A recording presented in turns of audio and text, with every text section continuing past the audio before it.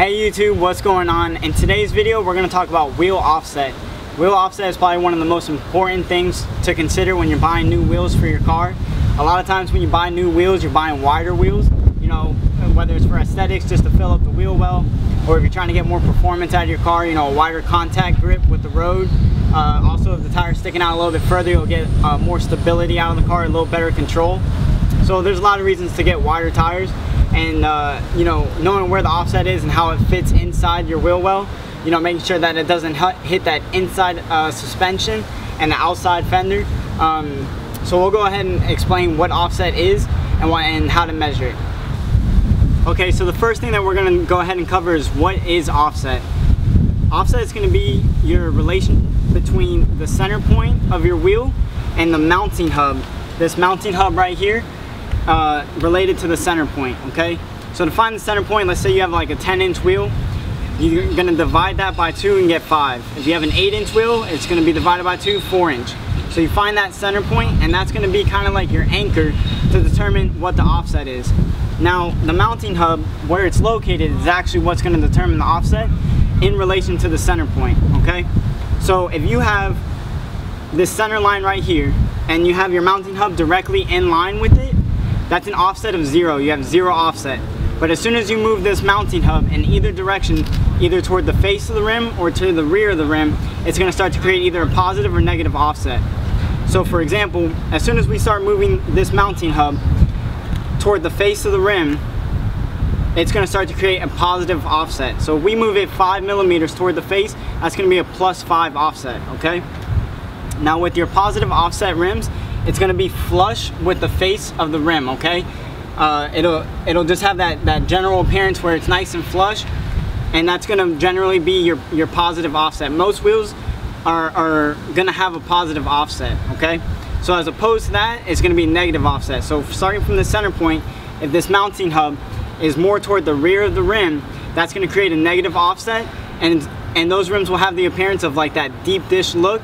Um, the only thing I can kind of really think about, I don't know if you're familiar with like RWB uh, Porsche, he puts extremely wide fenders in the back of the Porsche and he runs extremely negative offset wheels that have that really deep dish and that's you know pretty much the example I got.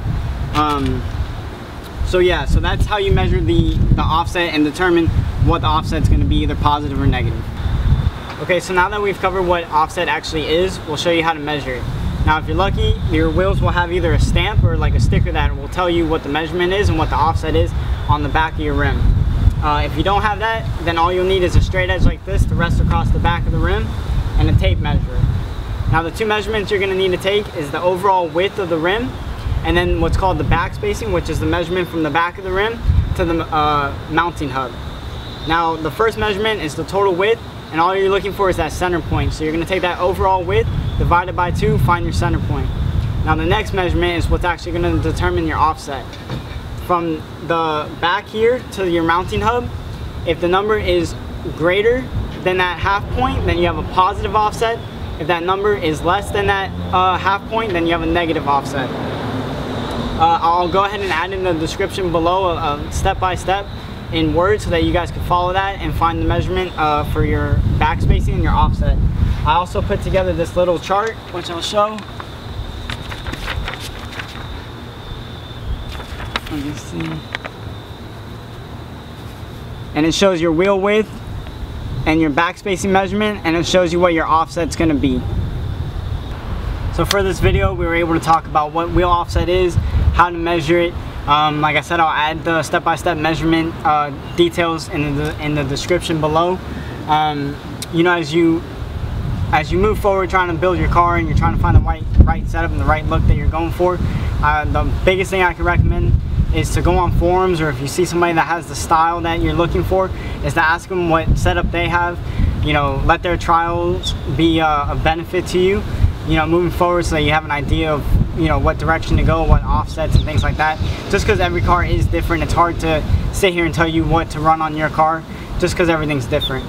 Um, you know, as you have a more positive offset, it's gonna, the, the extended width is gonna go more toward the suspension and a negative offset, the extended width is gonna go more toward the fender.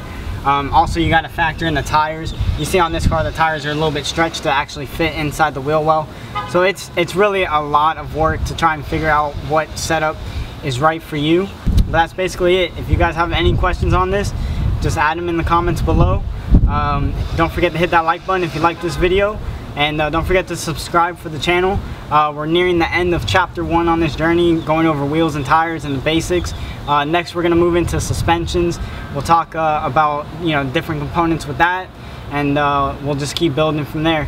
So thank you guys, like always, for uh, watching this video. I'll see you next time.